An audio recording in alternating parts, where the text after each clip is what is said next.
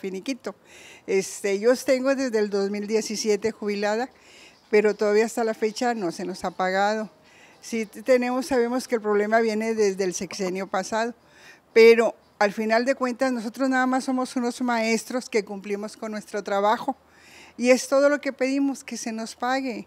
O sea, ¿por qué? Porque nosotros lo trabajamos, no nos están regalando nada, es nuestro trabajo de muchos años.